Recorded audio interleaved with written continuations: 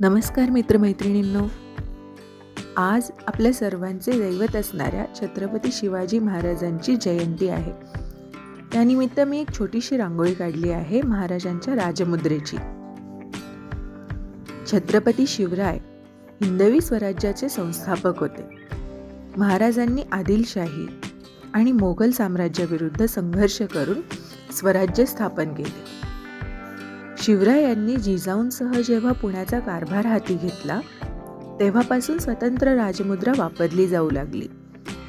एखाद्या कागदपत्रावर राजमुद्रा असेल तरच तो कागद किंवा पत्र मान्य आहे असे समजले जाते. छत्रपती शिवाजी महाराजांची राजमुद्रा हा अभ्यासाचाच विषय आहे. शिवरायांच्या आधीच्या काळात देखील अनेक राजमुद्रा होत्या परंतु त्या फारसी भाषेत होत्या. महाराजांची राजमुद्रा मात्र संस्कृत भाषेमध्ये आहे आणि ती देवनागरी लिपीमध्ये लिहिली गेली आहे.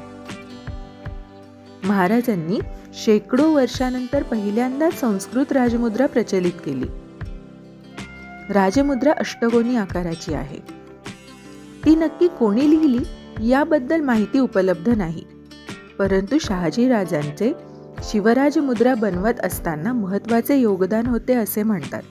राजमुद्रेवरील मजकूर असा आहे.